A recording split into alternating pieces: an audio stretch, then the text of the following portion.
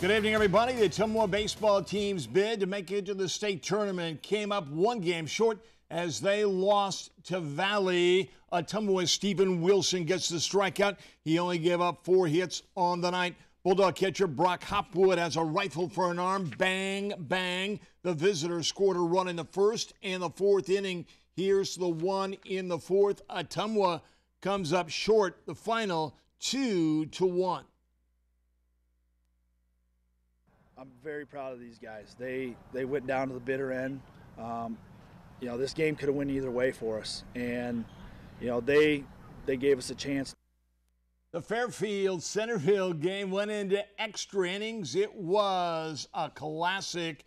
Fairfield's Joe Hiddipus had quite a game. He struck out 17 batters in nine innings of work. Fairfield won it in the ninth. Martin scores from third as the pickoff throw goes into left field. Fairfield wins it two to one. It's an incredible feeling. Four years ago when we started this run, uh, it, it was something that would never have been expected, and to be able to do it with a team like this is just, it's unbelievable. I can't even describe what it's like. Thanks, Coach. Fairfield will see action in the state tournament starting on Tuesday from Principal Park, and we will be there. In action from the state softball tournament, Oskaloosa finished fifth in the state softball tournament. They defeated Clear Creek Amana 3 to 1, and they walloped West Des Moines, Delaware 7 to 2. Tomorrow, EBF will play its biggest game of the year as they will take on Highland in the Class 2A state semifinal at 11 o'clock in the morning. EBF looked tanned, rested, and ready when they scored four runs in the first inning of their game yesterday. And they will use that confidence and swagger when they take on the top seeded team in the tournament tomorrow. We're going to mentally prepare by saying it's softball. I mean, it's a definite momentum game. Anybody can win, and just stay focused and do what we can do. And I'm sure we'll hopefully come out with the W. We don't know a whole lot about him. We've done some research, but we just got to go out there and play rocket softball, and if we do that, then we'll definitely win.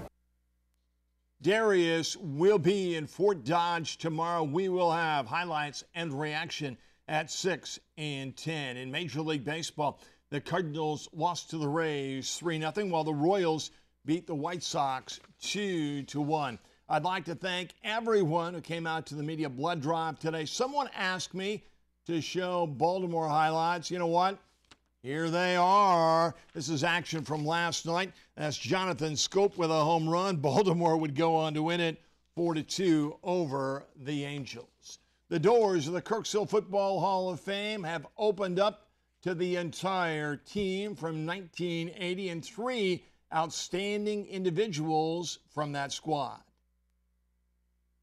It's one of the great teams from the Jerry Meyer era. The, they went nine and one. They were ranked for a couple weeks uh, in in the state rankings. Uh, great offense, uh, punishing defense, and so uh, we're proud to to honor those people that that played on the fall of 80 team, and uh, that team. Um, for the first time ever, had three All-State first-team players, and so we're also going to induct those three players. Mike Richardson, Barry Pockrant and Robert Rosenbaum, which were the uh, three first team all state players, which was the first time in Kirksville history that we uh, had three first team all staters. Thanks, Doc. The Orange and Black Foundation needs your help, though. They need to locate the three former All Staters. If you can get in contact with them, have them contact the Orange and Black Foundation.